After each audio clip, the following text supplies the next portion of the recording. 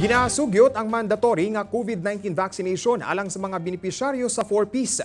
Hinoon, giklaro sa DSWD-11 nga padayon pang madawat sa unvaccinated 4Ps beneficiaries ang ilang ayuda. Gitinausab sa DILG nga tumong lamang sa ilang sugyot nga pagkabot sa nasod. Sa herd immunity, labi pa nga nasayrang gamay pa lang sa mga 4Ps beneficiary ang bakunado na. Ani ang report?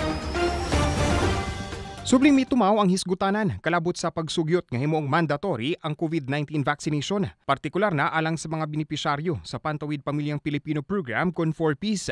Kinihuman masuta sa Department of the Interior and Local Government kon DILG nga base sa report sa DSWD, 12% pa lang sa gibana ang 4.4 million 4Ps beneficiaries sa tibok nasod ang nabakunahan kontra COVID-19.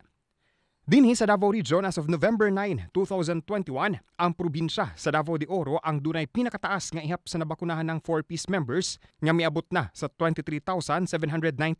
Apan sa kinatibukan, 87,081 ka 4-piece members ang vaccinated kontra COVID-19 o 34.7% pa lang gikan sa total 4-piece members sa Davao Region nga 250,844. Apan pagpaklaro sa DSWD-11 nga sa pagkakaron, nagpabiling voluntary o dili pugsanay ang COVID-19 vaccination alang sa 4-piece beneficiaries.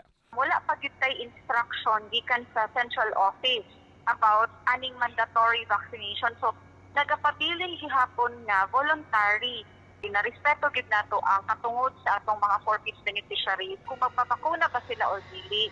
Rason nga may kalabutan sa relihiyon gihapon ang sagad nga rason sa 4-piece beneficiaries nga miyembro sab sa IP community kung anong gaduha-duha o dili sila gustong magpabakuna.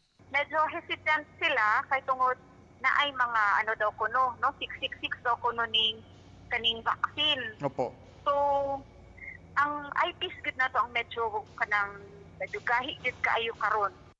Gipasalig sa DSWD-11 nga padayong madawat sa mga 4-piece member karon ang ilang mga benepisyo bisan og dili pa sila bakunado. Subay sa Republic Act No. 11310 o Pantawid Pamilyang Pilipino Program, madilist o matanggal lang isip miyembro sa 4-piece kung ang benepisyaryo wala na kauban sa balay nga 0 to 18 years old kung wala ga-comply sa requisitos sama sa pagtambong sa Family Development Session o FDS kung dunay mga misbehavior o ka voluntaryong mihawa sa programa.